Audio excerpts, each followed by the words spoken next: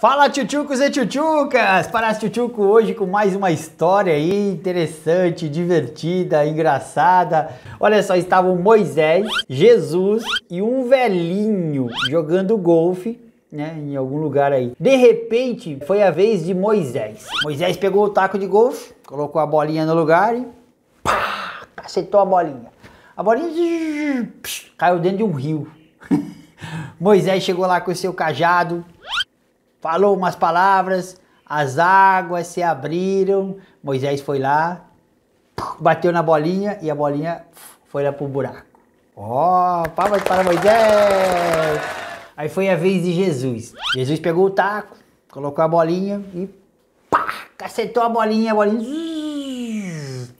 foi pro lado do lago novamente, mas caiu em cima de uma folha, uma vitória régia. Aí Jesus foi lá, caminhou sobre as águas a bolinha tava lá, ele pá, cacetou a bolinha, foi lá no buraco. Aí foi a vez do velhinho. O velhinho pegou, tremo, pegou a bolinha, ajeitou, pegou o taco de golfe e pá, bateu na bolinha. A bolinha e foi em direção ao lago também. Chegou lá no lago, caiu na boca de um sapo. O sapo engoliu a bolinha. Aí veio uma cobra, engoliu o sapo. Aí veio uma águia, hum, pegou a cobra. Ah, tava sobrevoando já o campo de golfe, a águia com a cobra, com o sapo, com a bolinha, com tudo. A águia apertou tanto a cobra que ela regurgitou o sapo. O sapo caiu, a hora que ele caiu assim, lá no campo de golfe, ele jogou a bolinha para fora, direto no buraco.